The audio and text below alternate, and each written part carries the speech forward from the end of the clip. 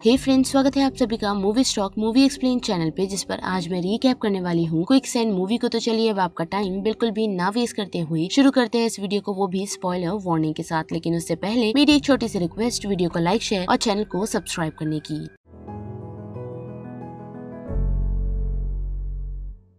कहानी की शुरुआत हमें घने जंगलों से दिखाई जाती है, जहाँ हम एक शख्स को देख सकते हैं जो काफ़ी डरा हुआ गल लेकर जंगल में इधर उधर घूम रहा होता है और अचानक से उसके पास एक शख्स पहुँचता है जिसे देख पहले तो वो काफ़ी घबरा जाता है, लेकिन फिर रियलाइज़ कर पाता है कि वो तो उसका दोस्त ही है। और जब वो दोनों बातचीत में लग जाते हैं तो उसी के साथ उन लोगों को एक आवाज़ आती है। जिस आवाज़ को सुन, वो शख्स अपने दोस्त से कहता है कि यहाँ से निकल चलो। लेकिन वो शख्स उसकी बात नहीं सुनता, जिस कारण दूसरा डरा हुआ शख्स यहाँ से भाग निकलता है और थोड़ा आगे बढ़ने पर वो ऐसी चीज़ें देखता है जिसे देख वो घबरा सा जाता है। जिसके बाद ये कहानी एक कपल की तरफ़ बढ़ती है, जिनका नाम जॉश और सोफिया है, जो दोनों ही हेल्थ केयर वर्किंग में काम करते हैं और साथ ही उनके दोस्त मार्कस के बुलाने पर वो दोनों कोलम्बिया एक लोकेशन स्टेशन पर आ पहुँचे हैं। और उसी के साथ हमें पता चलता है कि जॉस और सोफिया एक कपल है और उनके दो बच्चे भी हैं, लेकिन सोफिया इस रिलेशनशिप में खुश नहीं, जिस कारण वो जॉश से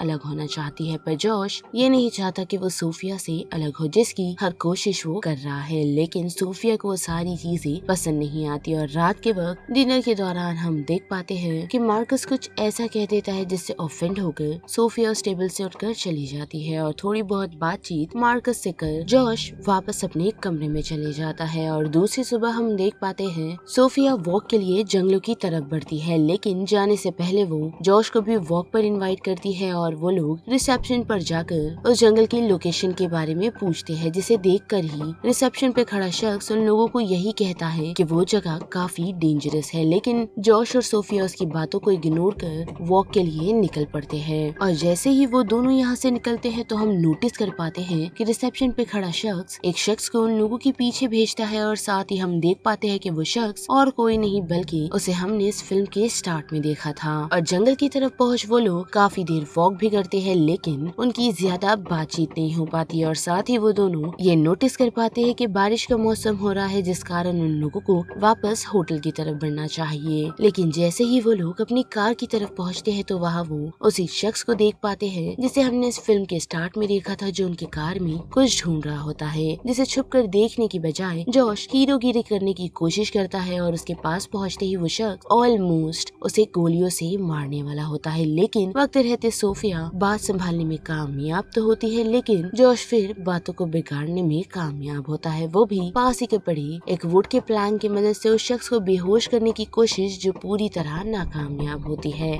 और ना चाहते हुए वो लोगों को उस लोकेशन से जंगलों की तरफ़ बढ़ना पड़ता है। और थोड़ा आगे दौड़ने पर सोफिया सोफिया एक लोकेशन पर रुकती है जहाँ वो इन सारी चीज़ों का ब्लेम जॉश पर डालती है और साथ ही उसे ये भी बताती है कि इन्हीं हरकतों के कारण वो जॉश के साथ नहीं रहना चाहती। जिसके रिप्लाई में जॉश उसे यही कहता है कि उसे नहीं पता था कि उस शख्स के पास गन है, लेकिन उसी के साथ उन लोगों को फिर से आवाज़ें आने लगती है, जिस कारण वो लोग यहाँ से आगे बढ़ने का डिसाइड करते हैं। लेकिन दौड़ते हुए हम नोटिस कर पाते हैं कि सोफिया के सर पर चोट लग चुकी है और बेहोशी की हालत में वो ऐसे ही आगे बढ़ रही है, जिस कारण वो एक दलदल में जा गिर पड़ती है और ज़ोर ज़ोर से जोश को आवाज़ें लगाने लगती है, जिस कारण उसकी आवाज़ सुनते हुए जॉश उसके पास पहुँच तो जाता है, लेकिन एक बड़ी ही नाकाम कोशिश वो उसे उस दलदल में से निकालने की करता है, जिसमें वो, जैसे कि मैंने कहा ही कि बुरी तरह नाकामयाब होता है। और देखते ही देखते सोफिया जोश की आँखों के सामने दलदल के नीचे ढस जाती है, जिसे घबरा कर जोश अपनी जान की परवाह न करे बगैर सीधा दलदल में कूद जाता है ताकि वो सोफिया को उस दलदल से निकाल पाए, जिसमें वो कामयाब तो होता है, लेकिन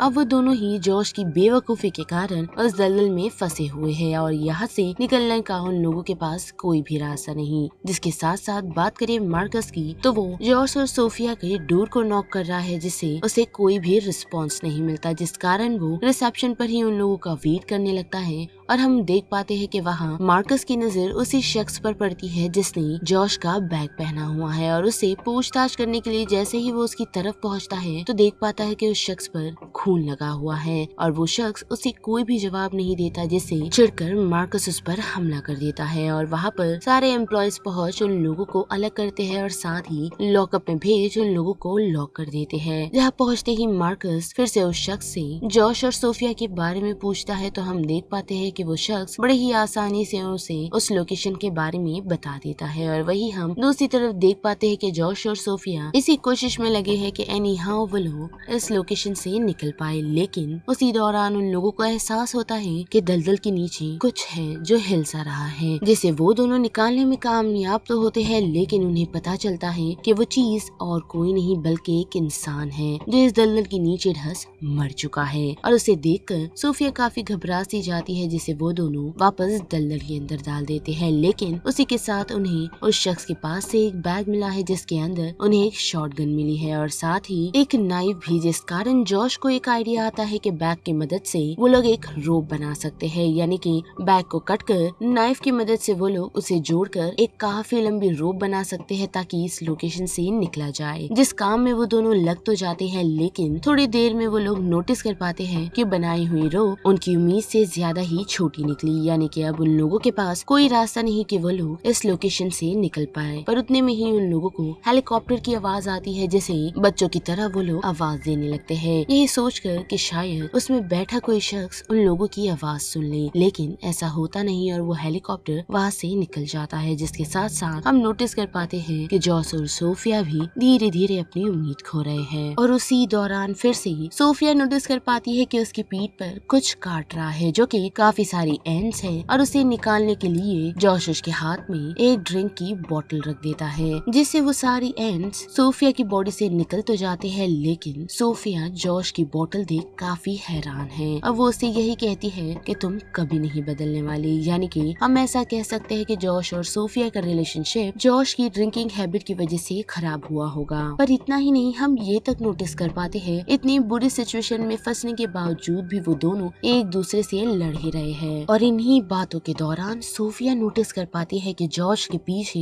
एक काफ़ी बड़ा स्नेक आ रहा है, जिसे देखकर वो जॉश को हिलने से मना करती है और खुद शॉर्ट गन निकाल रही होती है। लेकिन शॉर्ट गन निकालने में उसे काफ़ी देर हो जाती है, क्योंकि उस स्नेक ने ऑलरेडी जॉश को बाइट कर लिया है और सोफिया भी उस स्नेक को पूरी तरह मार नहीं पाई, जिसे वो उस गन की मदद से सिर्फ़ घायल करने में कामयाब हुई है, जिससे डर वो स्नेक उन लोगों से थोड़ा दूर चला जाता है। और ऐसे ही काफ़ी टाइम बीत जाता है, जिसके बाद हम नोटिस कर पाते हैं कि धीरे धीरे वो जहर जोश की बॉडी में फैल रहा है, जिसका भरोसा और विश्वास अभी तक जोश को नहीं हो रहा कि उसे एक जहरीले सांप ने काट लिया है। लेकिन उतने ही देर में वो जहर जोश की गर्दन तक पहुँच जाता है, जिसे देख सोफिया ये डिसाइड करती है कि गर्दन की तरफ़ से बढ़ रहे जहर को वो जोश की बॉडी से निकालेगी, जिसके लिए वो एक खतरनाक फैसला लेती है। वो भी उसके हाथों में नाइफ को वो गर्म कर जोश के उसी बढ़ रहे जहर की तरफ़ लगा देती है। यानी कि उस नाइफ की मदद से कट लगा देती है, जिससे काफ़ी सारा जहर जॉश की बॉडी से निकल जाता है, लेकिन साथ ही मार्कस उस कट लगने की वजह से बेहोश हो जाता है, जिसके काफ़ी समय बाद हम देख पाते हैं कि जॉश को होश आ चुका है, जिसे देख सोफिया काफ़ी ही खुश है और ऐसे ही हम नोटिस कर पाते हैं कि धीरे धीरे उनका रिलेशनशिप भी ठीक हो रहा है, क्योंकि वो दोनों अपनी पुरानी हरकतों के लिए एक दूसरे को माफ़ी तक कहते हैं और साथ ही एक नए सिरे से शुरुआत करने की बातचीत भी। जिस कारण सोफिया के दिमाग में एक बात आती है जो कि उसी स्नेक को लेकर है, जो उन लोगों से ज़्यादा दूर नहीं गया होगा, क्योंकि वो जख्मी है और ज़्यादा दूर नहीं जाएगा, जिसे वो